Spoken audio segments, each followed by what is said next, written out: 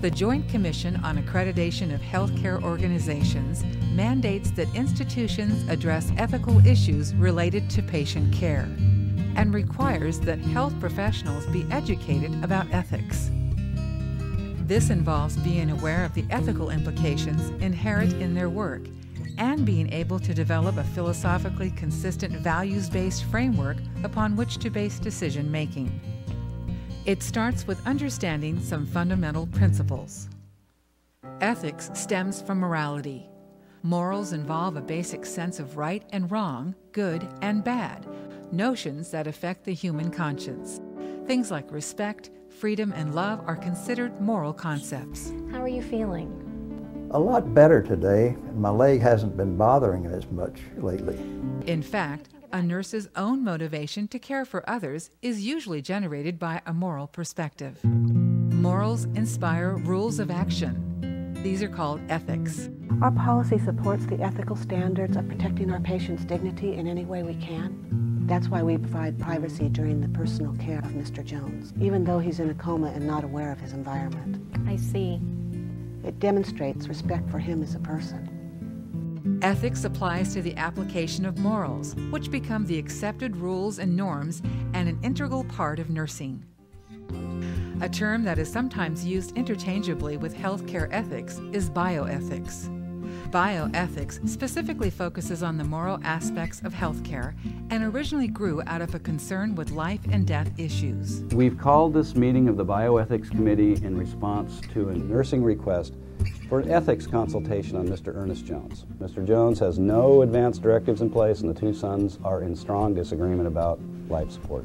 Issues like advance directives, organ and tissue recovery and donation, and informed consent are common topics of discussion. And an ethics committee is very valuable in terms of everybody sitting down and trying to arrive at a solution with a multitude of different perspectives.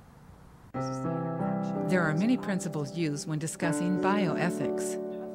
Beneficence is one of them. It refers to taking action to promote the welfare of others. Set aside uh, about 15 minutes so that we can go over this. Mercy, kindness, and charity are all qualities of beneficence. The term non maleficence is related to beneficence. It essentially means do no harm. This is an overriding principle for all patient care. You want to do whatever is, is in the patient's best benefit and do no harm. Um, part of that also includes intent to do no harm. We can also do emotional harm, and we can do emotional harm through not necessarily malice aforethought, but by providing culturally insensitive care, not being aware of perhaps what the patient thinks or how the patient feels. Respect for persons is fundamental. There are many ways to demonstrate this. One way is through honoring a person's autonomy. Autonomy literally means self governing, having freedom to make choices about one's life. Mr. Benson, so you wanted to talk to me? Yes, I've been thinking about my surgery and I really think I need a second opinion. My wife agrees with me and I want to postpone the surgery until we get it. Okay. Sure, well, you have every right to a second opinion. Um, I'll go ahead and let your doctor know. Do you have any idea who you would want to see? In nursing, there are many implications with autonomy, such as informed consent, advance directives, and end of life issues. Respecting a patient's privacy is an important ethical principle.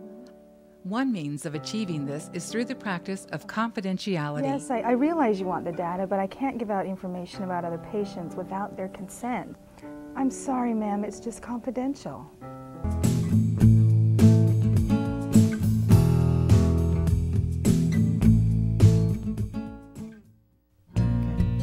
Respect. It's a basic value that confirms the inherent dignity, worth, and uniqueness of every individual. In healthcare settings, treating others with compassion and respect is an important ethical standard, but not always as simple as it might appear. Complex medical scenarios, issues of autonomy, and staff shortages are just some of the challenges now facing caregivers, along with the fact that we're all simply human. It makes it much more difficult to um, decide uh, how to provide care to patients, still do uh, what we as hospitals are obligated to do, while operating in this uh, marketplace of diminishing resources. The nurse in all professional relationships practices with compassion and respect for the inherent dignity, worth, and uniqueness of every individual, unrestricted by considerations of social or economic status, personal attributes, or the nature of health problems. Dignity refers to the quality of being worthy of esteem or respect. Basic respect for human dignity can be expressed in so many ways as healthcare professionals go about their daily work. Okay, it's ringing. Thank you. Hello? For the bedside nurse, it might be through small gestures, such as assisting the patient to place a phone call or helping with putting on a robe for visitors. Or be expressed in larger ways, like assuring that patients understand the explanations given to them by physicians when securing informed consent. So I want to make sure that you fully understand what that sentence means. On a basic level, respect is an expression of the golden rule of treating others how one would like to be treated themselves. In nursing, this means taking into account the needs and values of not only patients and their families, but of one's colleagues as well. It goes beyond just being able to identify how it feels to be the patient, but rather taking a, a step further on being the patient and being the patient surrounded by you. The codes of ethics look carefully at relationships to patients. There, we're finished. As the need for healthcare is universal, it should transcend all individual differences. How was it? Oh, it was great. Mark had already seen it before. So this means delivering care without judgment of patients' race, religion, or lifestyle. Respecting another's value system and religious beliefs, even if they're quite foreign to one's own. They, they just think I'm crazy. I've personally never experienced anything like that before, but I think I could get a sense of why you might feel that way. Suspending judgmental thinking is easier than it sounds. I think the most important thing, especially for new nurses, to recognize is that we're all going to have our own feelings and biases about what should be the outcome.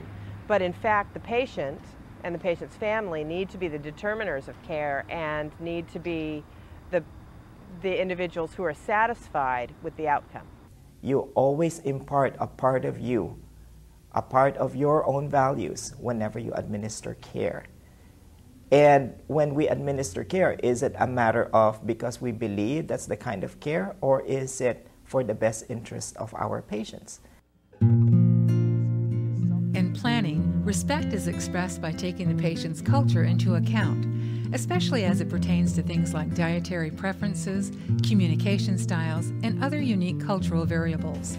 I can totally understand where the patient is coming from. In my family, we just don't make health decisions on our own. Same with my family. And for many cultures, health decisions are not made by an individual, but by a group, a family, community, or the society at large. So every aspect of what we do for patients is really bound up in their culture, their values, and recognition of that and understanding of what their values are um, makes a big difference in being able to navigate the healthcare system safely and appropriately for that patient.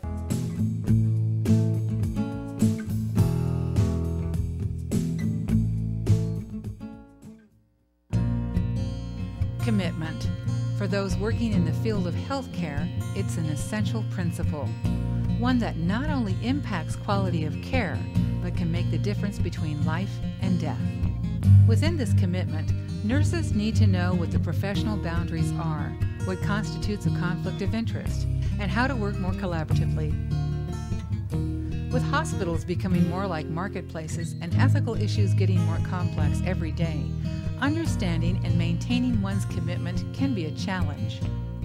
They know they need to spend more time with the patient, they know they need to talk to them more, they know they need to provide support, moral support and emotional support to the patient, but the reality is the time for that is very limited. The nurse's primary commitment is to the patient, whether an individual, family, group, or community.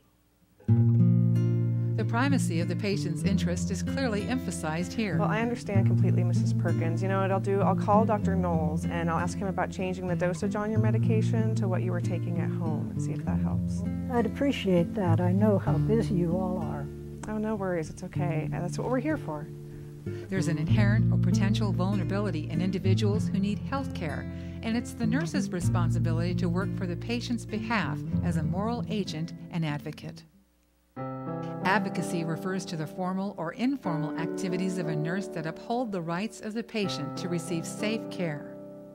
Advocacy also means to empower the patient to act on his or her own behalf. This involves care that meets the unique and comprehensive needs of the individual and his or her family. His wife has learned all the dressing procedures, but she works full time. Is there anyone available to help during the day? His sister has expressed willingness, and she's home during the day. If they're comfortable having her help out, perhaps that could be the solution. I'll see how they feel about that. And recognizing the patient's place in the family and other networks. A good plan of care must reflect this uniqueness. You have to individualize your care. You can't go in and treat every patient the same. You just can't because not every person is the same. Sometimes it's the patient's goals and the family goals may be in conflict. There again, we need to have some good, clear communication and get some clarity on primarily what the patient's goals might be. In some critical care situations, a greater chance exists that patients and families may have limited or no decision making capacity. So we need to get Mr. Graves transferred to the floor in the next hour. I'll go make sure he understands that he's ready to leave the ICU and see how we can make this as easy as possible for him. During this time, the nurse's responsibility is to work on the patient's behalf and serve diligently as a moral agent and advocate, providing safe passage through the healthcare continuum. But keeping the patient as the nurse's primary commitment when so many take part in the care can be a challenge.